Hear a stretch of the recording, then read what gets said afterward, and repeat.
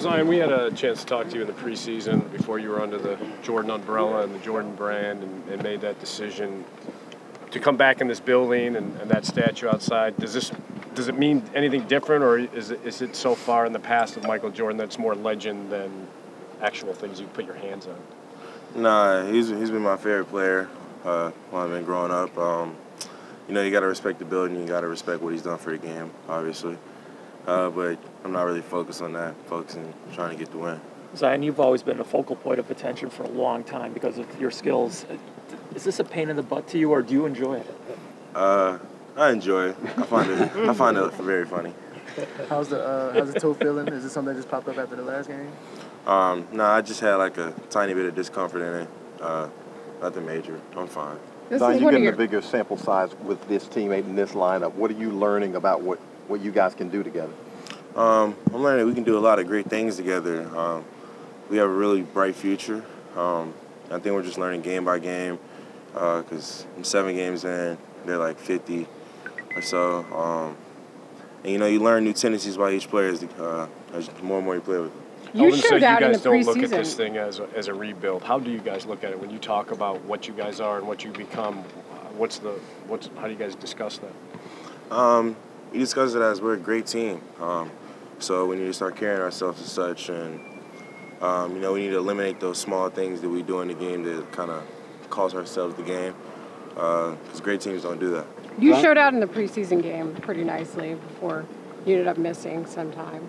What did you think of just playing as much as you did in that preseason game here and how comfortable you really looked out there for most of that game? You got better as it went on.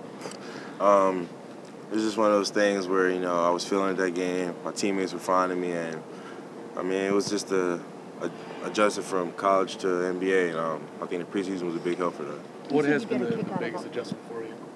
Biggest adjustment playing in the league? Uh, nothing really on court, to be honest. Uh, I think for me, it's more off court. You know, with my teammates, going from college teammates to, you know, like Derrick Favors and JJ, like four and two kids, uh, and the resp- uh, different level of responsibilities that they have. So that's been like my biggest adjustment. So, so coming back to. Out of this media circus. I mean, coaches, when you arrive at a hotel in three in the morning, you're there. Everybody, when you go to stadiums, wants to see you. You're known by one name. Like, well, you said it's funny. What, what surprises you about this? What, what makes it funny to you? All this attention. Um you know, it's not always funny. Uh, I just make it fun. Um, Because, you know, if I hate it, then it's not going to be any fun. but uh, it does surprise me. Um, you know, I always try to figure out, like, why so many people care about me. Like, I'm just a regular guy. Um, but, nah, whatever I do, I just try to have fun with it. Um, you know, it goes by fast and I enjoy it. The coach said that he doesn't need to take any measures to keep you grounded because your mom and dad do a good enough a job of that. What do they do to help kind of keep you grounded and humble? It seems to come pretty natural to you. Um, it's one of those things where, you know, while people might say, oh, you know, you had a great game, this, that. Uh, you know, when I get home, I know I'm here the opposite. Um, so, you know, going through that for a lot of years. Um, at first, I thought, man, she's being, my mom's being real tough on me. but as as I got older, I realized um, she was doing it for you know to keep my mindset humble and just stay grounded. So like when you preseason too, I, I spoke to you about the motivation of speaking Eric Thomas. You know, throughout your injury, did you have a chance to catch up with him at all, or talk to him about, about the season? No, I didn't have a chance to catch up with him, but um, you know, he's incredible what he's uh, what he does. Um, you know, he came and spoke uh, to us at the rookie orientation.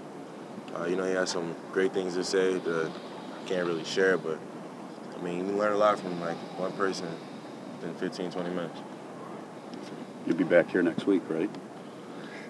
Well, is it, is it here? Uh, what do you what do you, what what do you what do you kind of what are you looking forward to about that? I mean, just meeting all the other young players and just having fun. I mean, that's what All Star Weekend's is about. Just come out here, have fun, and just enjoy the time.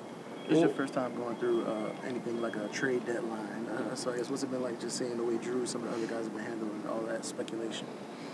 Um, you know, they uh, somebody like Jrue, You know, he's been in the league a long time, so you know he knows what it is.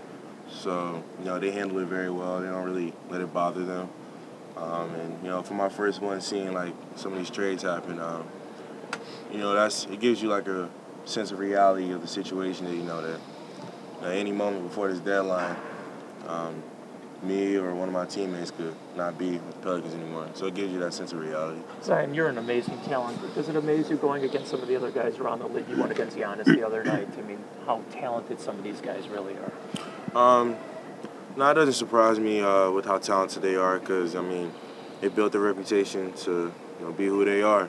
And, I mean, this is the NBA. The best players in the world play here. So, you know, it's just a matter of getting better and better and just competing.